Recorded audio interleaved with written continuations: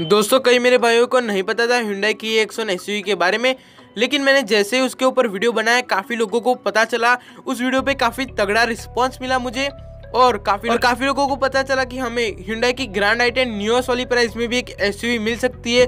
यानी हैचबैक के दाम में आपको एक एस मिल सकती है एक बड़ी गाड़ी मिल सकती है। कई मेरे भाइयों ने फिर उस वीडियो को देखने के बाद मुझे इंस्टाग्राम पे कांटेक्ट किया कि ये ये वीडियो तो एक प्रीव्यू था आप इसके ऊपर एक डिटेल वीडियो बनाओ। ताकि हमको ज़्यादा इन्फॉर्मेशन मिल सके। तो इस वीडियो में आप देखेंगे हिंडा ई एक्स वन का एक डिटेल्ड वीडियो जिसके अंदर इसका exterior interior price engine option launch date सभी के बारे में हम डिस्कस करेंगे।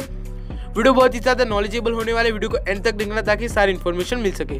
लेकिन अगर आपको जल्दी है एक दो महीने में ही कार चाहिए तो इस बजट में एस यू की Venue S S variant Hyundai Venue का सबसे ज़्यादा वैल्यू फॉर मनी है। तो अगर आपको जल्दी है गाड़ी लेने की तो हिंडाई वेन्यू एस रिव्यू और ड्राइव रिव्यू यानी मैंने उस गाड़ी को एक डिटेल रिव्यू करा था और इसके ड्राइव लेके भी बताया था कि कैसी गाड़ी चलाने में क्या क्या दिक्कत है क्या क्या पॉजिटिव है। उस वीडियो के भी, इस वीडियो के बाद आप ज़रूर से जाके चेकआउट कर लेना। चलिए दोस्तों, मेरा नाम है विश्व जैन और स्वागत है आप सभी का मेरे एक और नए वीडियो में। चलिए दोस्तों, बिना टाइम इसका वीडियो को स्टार्ट करते हैं। बात कर लेते हैं Hyundai A X one S के एक्सटीरियर से। फ्रंट से आपको ये थोड़ी सी वेन्यू इंस्पायर्ड लगेगी। आप अभी स्पाई शॉट्स देख रहे होंगे। गाड़ी कवर्ड है, लेकिन जो भी जानकारी है वो मैं आपको बता देता हूँ। इसके अंदर फ्रंट में आपको स्प्लिट हेडलैम्प फ़ंक्शन देखने को मिलेगा। बेसिकली जो डीआरएल है, वो बोनेट के साइड होंगे और जो मेन हेडलाइट का यूनिट है, वो स्क्वायर शेप में आपको बम्पर के अंदर इंटीग्रेटेड मिलेगी। यहाँ पे आपको फ्रंट में बड़ा सा हिंडाई का लोगो देखने को मिल जाएगा, लेकिन ग्रिल होगी, वो थोड़ी सी चेंज कर दी होगी वेन्यू से। बात कर लेते हैं बम्पर की जहाँ पे आपको फॉग लैम्प्स भी देखने को मिल जाएँगे और रेडिएटर ग्रिल भी देखने को मिल जाएँगी। फ्रंट से वेन्यू इंस्पायर्ड लुक होगा, लेकिन साइड से गेम चेंजर होगा। साइड से आपको ज़्यादा लंबी या फिर चौड़ी तो नहीं लगेगी, लेकिन इसके जो अलॉय व्हील्स है, उसका डिज़ाइन काफ़ी अट्रैक्टिव है। डुअल टोन अलॉय व्हील्स मिलेंगे फ्रंट में डिस्क रियर में ड्रम ब्रेक्स मिलेंगी। ये जो अलॉय व्हील्स है, उसका डिज़ाइन काफ़ी अट्रैक्टिव है डुअल टोन है, यानी डायमंड कट फिनिश के साथ आता है। ये 15 या फिर 16 इंचेस के अलॉयल्स होंगे। बात कर लेते हैं ओवर की तो ये भी एक नए डिज़ाइन के साथ हैं। ये आपको ऑटो फोल्डिंग ओवर मिलेंगे और आप इसको इंटरनली इलेक्ट्रिक एडजस्ट कर पाएँगे। बात कर लेते हैं डोर हैंडल्स की जो बॉडी कलर्ड होंगे, टॉप वेरियंट्स में आपको क्रोम डोर हैंडल्स नहीं मिलेंगे। लेकिन जो कीलेस एंट्री वाला बटन होता है, वो सिर्फ़ आपको ड्राइवर साइड मिलेगा को ड्राइवर साइड नहीं मिलेगा। बात कर लेते हैं ऊपर की साइड तो छत पे आपको रूफ रेल्स देखने को मिल जाएँगे, और अपर वेरियंट्स में आपको शार्पिन एंटीना भी देखने को मिल जाएगा। ये जो रूफ रेल्स है, वो फंक्शनल नहीं होंगे, ये सिर्फ़ एक शो के लिए होंगे, इसके ऊपर आप सामान लोड नहीं कर पाएँगे। अब एक बड़ा सवाल, क्या इसके अंदर सनरूफ आएगी कि नहीं? तो जी नहीं दोस्तों, इसके अंदर सनरूफ हिंडा ऑफ़र नहीं करेगा। हो सकता है कि लेटर थोड़ा प्राइस बढ़ा करके सनरूफ भी ऐड कर सकता है, लेकिन हाल फ़िलहाल तो सनरूफ नहीं देगा। बात कर लेते हैं रियर की।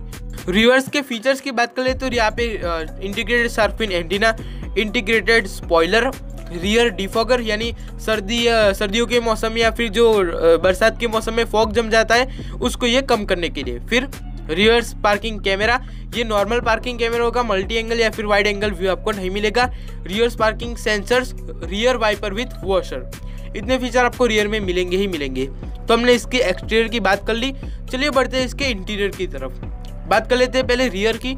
रियर में आपको फैब्रिक सीट्स मिलेंगी लेदर सीट्स का ऑप्शन नहीं होगा। क्योंकि एक बजट माइक्रो एस होने वाली है। रियर में आपको सन सीट्स नहीं मिलेंगे, यहाँ पे आपको पार्सल ट्रे मिल जाएगी टू एडजस्टेबल हेडरेस्ट मिलेंगे, बीच में एक आमरेस्ट होगा जो कि कप होल्डर्स के साथ आएगा।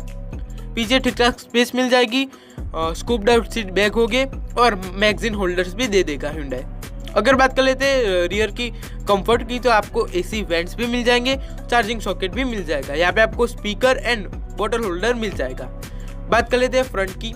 जो फ्रंट सीट्स होगी वो हाइट एडजस्टेबल होंगी, लेकिन कोई भी हीटिंग वेंटिलेटेड फ़ंक्शन नहीं होंगे फ्रंट सीट भी लेदर नहीं होंगी फैब्रिक मटेरियल्स में आएगी। बात कर लेते हैं स्टेयरिंग व्हील की तो ये आपको हिंडा की ग्रैंड आइटन न्यूस से न्यूस वाला मिलेगा, जिसके अंदर आपको फ्लैट बॉटम होगा जो इंफोटेनमेंट एंड एमआईडी के कंट्रोल्स भी इधर आपको दे देंगे। इसके अंदर एक नया फीचर ऐड कर दिया गया होगा, जो कि ग्रैंड आई टेन में नहीं है क्रूज कंट्रोल इसके अंदर हिंडा शायद से क्रूज कंट्रोल भी दे देगा।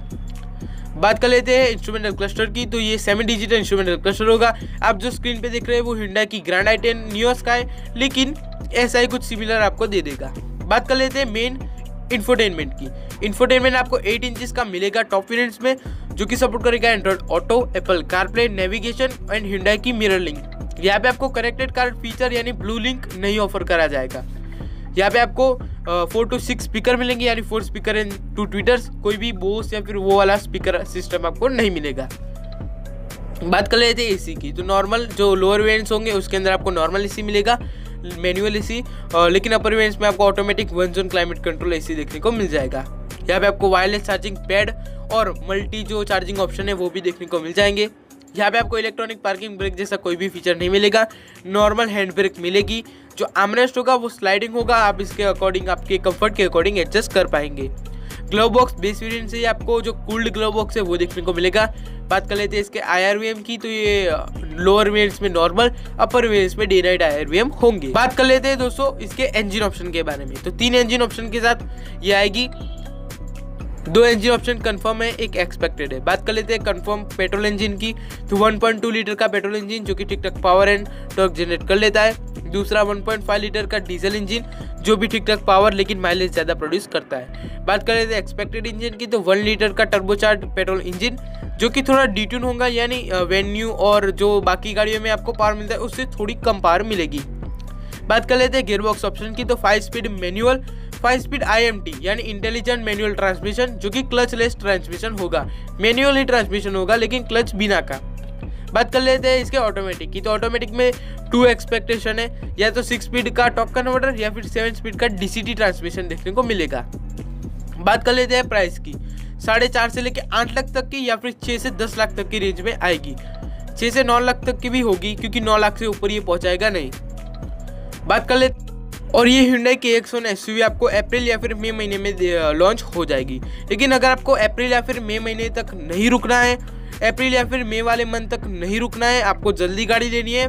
तो आपके पास इसी बजट में एक ऑप्शन है हिंडई की एस वेरिएंट या फिर बलेनो का। बलेनो का रिव्यू भी करा है और हिंडई की एस हिंडई वेन्यू का एस वेरिएंट का फुल रिव्यू करा है डिटेल्ड आप वो जाके देख लीजिए। और फिर कार को चलाकर भी बताया कि कार चलाने में कैसी है, वो भी वीडियो ज़रूर से जाके चेकआउट कर लेना। तो आई होप मैंने आपको सारी डिटेल्स एंड इन्फॉर्मेशन दे दी होगी। अगर वीडियो अच्छा लगा हो तो लाइक कर देना, साथ ही साथ नए चैनल को सब्सक्राइब कर देना। चैनल सब्सक्राइब करने से मुझे भी मोटिवेशन मिलता है ऐसे अच्छे वीडियोज़ बनाने के लिए। चलिए दोस्तों, इस वीडियो में तो इतना ही। वीडियो देखने के धन्यवाद। Thank you so much How Does it feel to breathe when you're dead?